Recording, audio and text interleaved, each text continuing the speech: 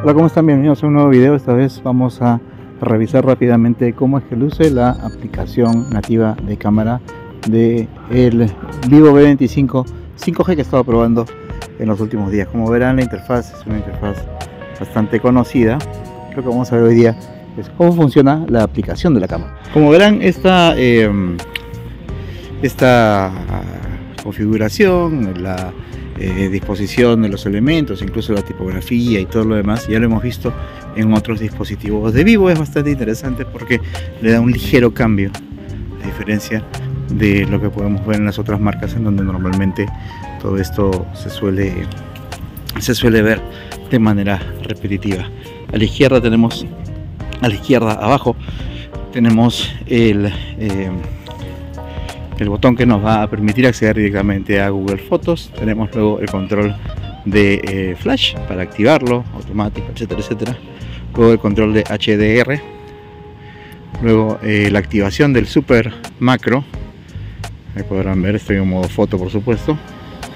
Y luego a la izquierda los ajustes. En este caso, eh, en la fotografía, yo puedo escoger entre las dimensiones 1.1, 4.3, 16.9 o full frame o, full screen, pantalla completa. Eh, luego este es el temporizador, apagado 3 segundos, 5 segundos o 10 segundos. Puedo habilitar o deshabilitar las líneas de encuadre, el nivel, el muestreo también eh, de efectos. Vamos a regresar ahí. La marca de agua y el, eh, la captura de, del enfoque perdón, en movimiento. Eso es lo que nosotros nos encontramos en, la, eh, en el modo fotografía, el modo automático. Podemos ir de... Ah, me, olvidaba, sobre la derecha tenemos además del shooter y el cambio de cámara. Aquí estoy.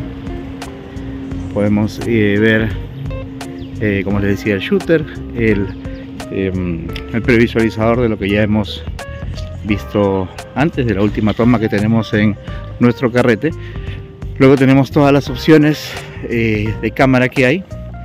Y eh, por ejemplo, estoy ahorita en paso nuevo foto. Aquí abajito tenemos esto que dice AI. Está activo, es decir, la inteligencia artificial está activa para detectar el tipo de em, el tipo de eh, escena para poderse para poder mover sus todas sus configuraciones y poder tomar de manera automática la mejor foto podemos desactivarlo también. Ahí está. Y arriba tenemos los filtros. Ok.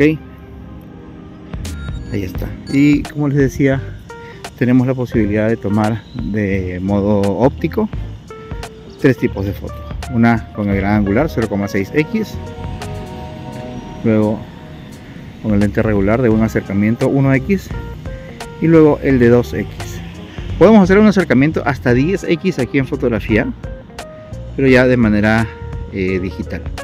Que no es tan, como verán, no es tan, tan raro ni se ve tan, tan mal. 10x me parece que es una distancia bastante manejable para un zoom óptico. Vamos a regresar a la medida 1. Ahí está. 1 vamos a seguir avanzando también nos vamos un poquito más por el parque. Y tenemos aquí bueno el modo noche no lo vamos a poder ver en estos momentos tenemos el modo retrato.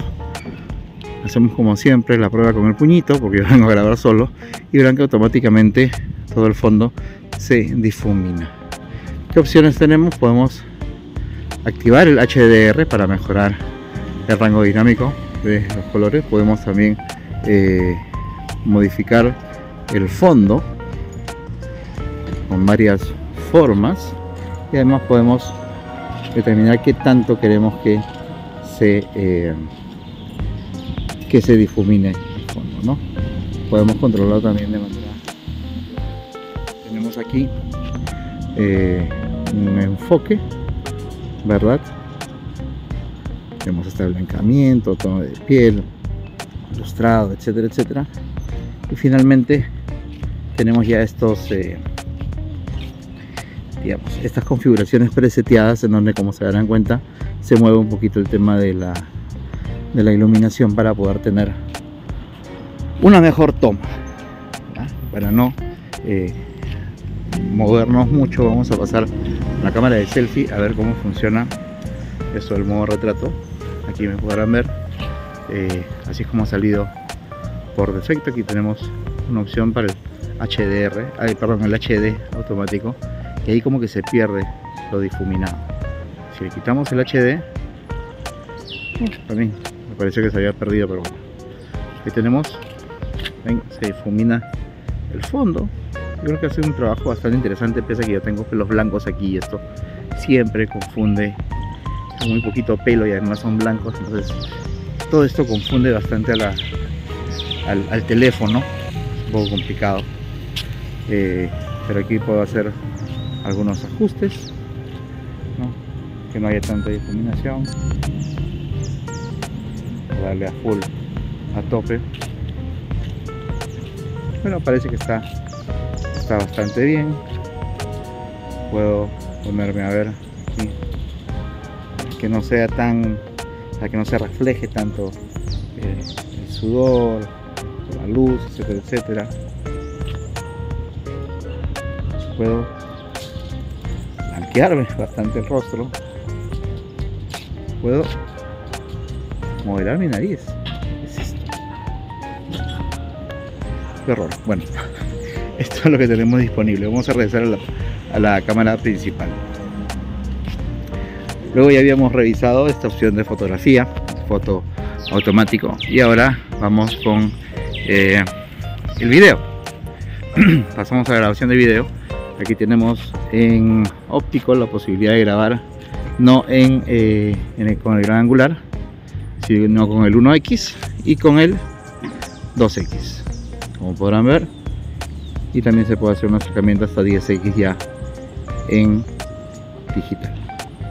Ok, también tenemos la posibilidad, vamos a regresar aquí. A ver, estamos bajo un arbolito, por eso hay poca luz. Vamos a salir de ahí, hoy está nublado en Lima. Eh, aquí también podemos ponerle podemos desenfocar el fondo ok eso es interesante ¿sí?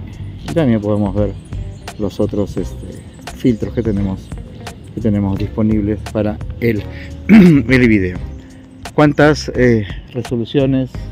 De video tenemos disponibles y también eh, eh, y también proporciones.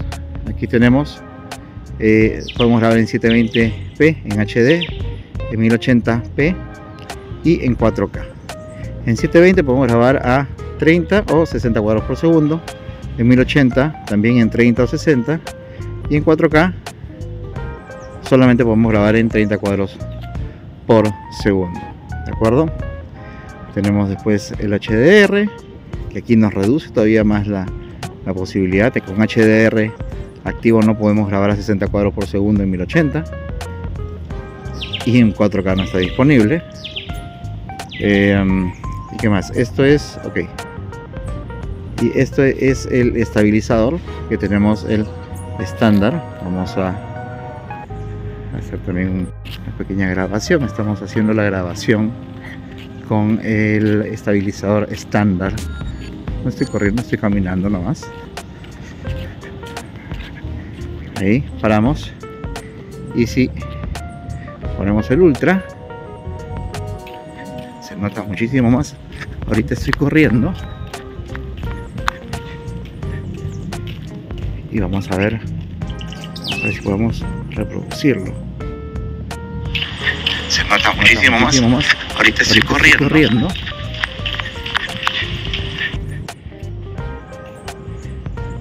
se controla bastante bien, ¿ah? muy interesante en realidad. Bueno, y este es el video.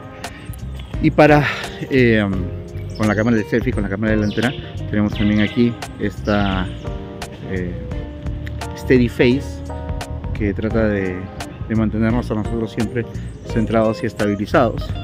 Y en cuanto a las resoluciones, tenemos eh, también 30 y 60 cuadros por segundo en 1080 en 720 igual y en 4K solamente 30 cuadros por segundo pero aparentemente todo está bastante, bastante, bastante bien. Luego tenemos esta opción que dice película blog, que eh, lo que hace es eh, darte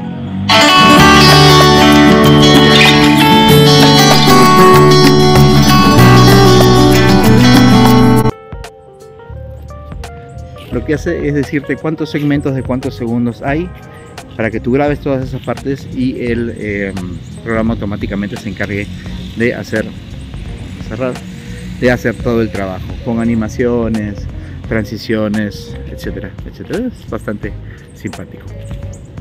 Y ahora en la parte de más podemos ver que hay un montón de otras opciones. La opción eh, profesional. Esta opción de doble exposición es una este, que muchos han em, eh, mostrado en sus reseñas. Aquí tienes algunas eh, algunos fondos que puedes utilizar eh, para mezclar con la foto actual que estás tomando. Entonces voy a voltearlo en vertical. Por ejemplo, pues puedes tomarte este en tu plan super influencer, puedes agarrar y tomarte una foto con este de aquí mirando a la nada entonces te puede quedar una foto bastante interesante no sé vamos a ver ahí está medio raro pero para quienes les guste ese tipo de, cosas lo pueden hacer eh, y otra de las funciones que tenemos ahí son stickers de realidad aumentada, cámara rápida, panorama, etcétera, etcétera. La posibilidad de tomar una foto en muy alta resolución y esto que no es eh, exclusividad de Vivo, tiene un montón de marcas, pero que es bastante divertido, que es el tema de la doble exposición, la doble vista, o vista doble, como se llama aquí en el Vivo B25. Aquí es muy simpático porque como podrán ver, este, si bien la vamos a, vamos a cambiar aquí a 1080 por lo menos la frontal perfecto. Entonces se ve un poquito mejor. No hay tanta estabilización pero en la de atrás la que está aquí sí fíjense está bastante bien estabilizado no se nota mucho el movimiento. Yo puedo vamos a ver cómo hago el cambio tengo la otra opción. Siempre la cámara delantera no va a tener tanta exposición tanta estabilidad como podrán ver. Y puedo cambiar aquí la vista. Vamos a ver este para qué sirve. Lo puedo poner en forma de corazón en forma circular en forma cuadrada. Y si es que no me equivoco si hago esto ok. Aquí hago el cambio ¿no? ya mi cámara trasera ahora es la angular no es la normal entonces tengo mucho más este espacio. Y pueden ser las dos traseras y delantera trasera. Yo lo que quisiera se puede mover lo puedo mover. Perfecto pero lo que a mí me gustaría es la posibilidad de poder eh, que no encuentro cómo este cambiar. Y ya salir chiquito con el, con el espacio este con la cámara de fondo eh, con la cámara trasera en la mayor parte del, del espacio. Es decir que esta aquí sale al espacio de la cámara trasera y yo chiquito aquí arriba. Pero no se puede. Ok este bueno, en realidad no hay mucho más que ver en este en esta cámara eh, perdón en este dispositivo en el B25 em, de vivo. Teléfono este bastante interesante el cual voy a publicar la reseña en breve a través de mis redes sociales porque este es un teléfono que ya ha pasado por muchas manos y ha tenido también reseñas en el diario así que no voy a publicar la misma reseña del mismo producto este, otra vez en el diario, así que esto va a ir para mis redes sociales, el canal de YouTube, etcétera, etcétera. Así que nada, si tienen preguntas sobre el equipo me avisan, muchas gracias y nos vemos en la próxima.